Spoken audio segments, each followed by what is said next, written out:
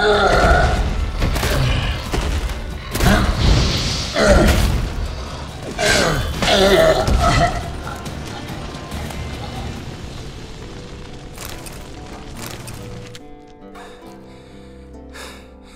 You gonna live? Probably. Let's get out of here. Wait. That's for Voltehre, you whore son.